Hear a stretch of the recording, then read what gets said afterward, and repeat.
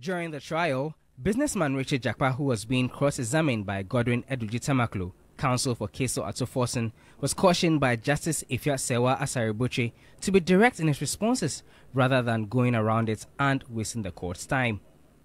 The third accused was responding to questions on who was behind approval of letters of credit for the purchase of the ambulances. Attorney General Godfred Yeboah-Dame, reacting to the judge's caution, accused Richard Jakpa of defending Dr. Cassiel Ato Forson. This triggered the third accused, who retorted that the Attorney General appeared pained because he had engaged him to help the state make a case against Dr. Cassiel Ato Richard Jakpa alleged that he had been approached by the AG and had had odd hour meetings with him on implicating the former deputy minister, but he refused. The minority leader who was present in court was taken aback and looked upset by the development.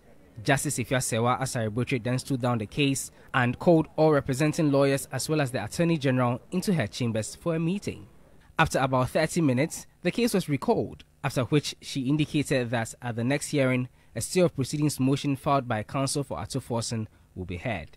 The case has been adjourned to May 28 for further cross-examination of Richard Jakpa. Dr. Cassiel Ato Forson, together with Dr. Sylvester Anemana and Richard Jakpa, are on trial for causing financial loss of 2.37 million euros to the state through a contract to purchase 200 ambulances for the Ministry of Health. The state has, however, discontinued the case against Dr. Sylvester Anemana.